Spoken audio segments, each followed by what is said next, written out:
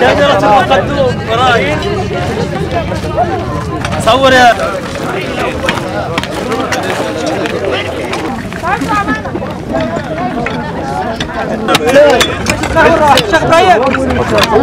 وبالتالي نرجع بعد فترة نلاقي هاي ال- القرية.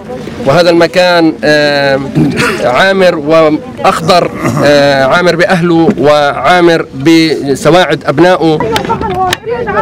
تعالوا هون شورة تاني شورة تاني آه يلا. آه يلا يلا. صح ولا أستاذ ولا بيمشي هذا الشجر ابو الوليد ابو الوليد آه هون بالفار كله صحيح المشكلة.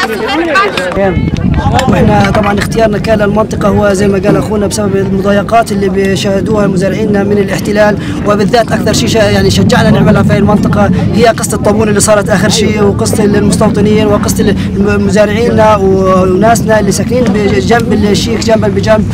وهذا اللي خلانا نخطو هاي الخطوة ونعمل في هذه المنطقة. علما بقول لك هي منطقة جفاف ومنطقة صحراوية هي مش منطقة جفاف. هي إن شاء الله راح تصير منطقه خضراء زيها زي منطقة زويدين